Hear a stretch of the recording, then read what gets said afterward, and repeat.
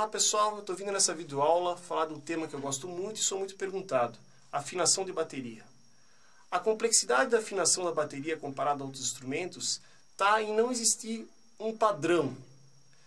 Definindo, por exemplo, qual a nota do primeiro tambor, nesse caso eu escolhi o surdo, não existe nada que diga exatamente como vai ter que soar o tom 2, como vai ter que soar o tom 1 e assim por diante. Mais do que isso, uh, ainda essa afinação, escolhido o intervalo, ainda essa afinação ela pode uh, ser mais aguda uh, ou mais grave. Né? Isso é algo muito de gosto pessoal. E a complexidade maior está ainda na relação de aperto entre as peles batedeira e resposta. Essa combinação de aperto vai definir se o tambor ele vai uh, soar mais ou menos ressonante, uh, ou seja, na sonoridade como um todo. Começando então pelo intervalo entre os tambores, eu normalmente faço o quê? Eu defino qual o som que eu quero para o meu surdo e a partir daí eu busco a afinação dos demais tambores. A afinação mais comum e é a que eu faço é afinar em terças. Ou seja, seria algo assim. Tan, tan, tan, tan. Tan, tan, tan, tan. Tan, tan, tan, tan. Tan, tan, tan, tan. No meu caso, eu tenho algo mais atípico em comum. Eu, na verdade, pulo a afinação de um tambor para o outro. É como se nesse intervalo aqui é, o meu tom de 8 tivesse a afinação do tom de 6. Então, em vez de ficar tan, tan, tan, tan, eu faço tan, tan, tan, tan, tan, tan, tan, tan, tan, tan, tan. Mas isso é algo pessoal. Normalmente a afinação então se dá em terças e onde a afinação mais grave ou mais aguda, como dito anteriormente, é uma questão de gosto pessoal. Eu vou tocar um pouquinho então para vocês perceberem então a, a relação entre os tambores.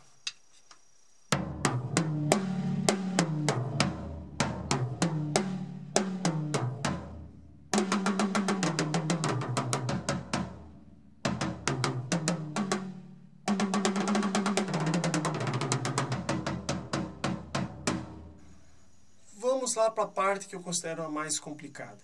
Afinal, qual aperto que eu tenho que dar na pele batedeira e na pele de resposta. a caixa ela funciona numa lógica um tanto diferente dos tambores. É possível na caixa tu ter uma pele batedeira extremamente apertada e uma pele de resposta menos apertada.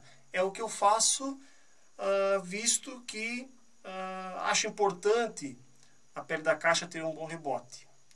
Nos demais tambores, uh, por um som mais natural, normalmente se tem o mesmo aperto na pele de resposta e a pele batedeira. No entanto, a ressonância do tambor, a ressonância exagerada do tambor, se tira pela diferença de aperto entre as duas peles. E onde a sonoridade fica mais interessante se tu tem uma pele batedeira mais frouxa do que a pele de resposta. É importante também uh, vocês ficarem atentos a, ao aperto dos parafusos para que todos os parafusos tenham o mesmo aperto.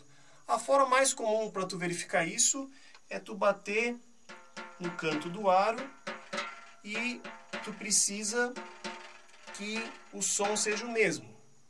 Caso isso não ocorra, além de uma ressonância uh, diferente e que incomoda, é possível, com o passar do tempo, inclusive, uh, ter problemas com o aro da bateria. Existe um, um medidor de, de tensão, que se chama de afinador no mercado, ele faz esse serviço onde consegue medir a tensão de cada parafuso.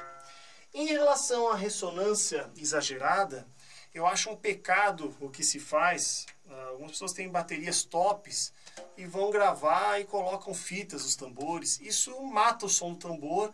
O máximo que pode se fazer é usar também Existem uns géis disponíveis no mercado, onde tu coloca isso na pele, ele tira aquele harmônico indesejável sem matar uh, o som da bateria.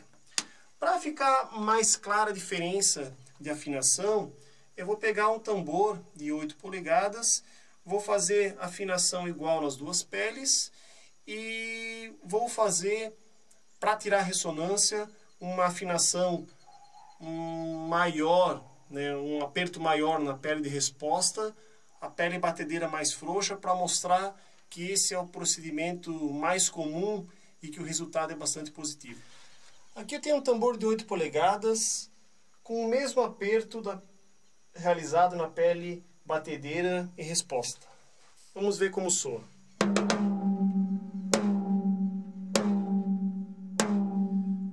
Como dá para notar, é um tambor bastante ressonante com uma ressonância exagerada. Como se tira isso? Como eu falei antes, com a diferença de aperto entre as peles, onde uh, um som mais bonito, com maior kick, ele vai se dar um aperto menor na pele batedeira e um aperto maior na pele de resposta. Eu vou fazer isso.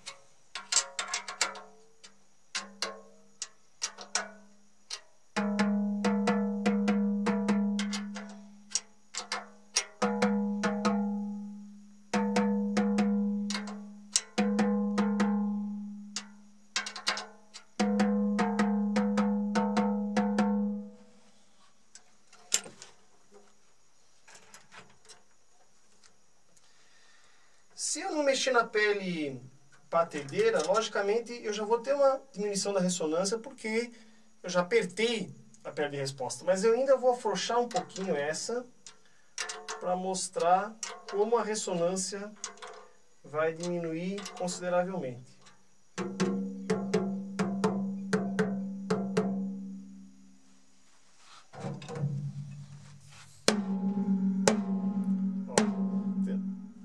Agora o tambor bem ressonante. Vale ressaltar que a afinação depende de uma série de fatores.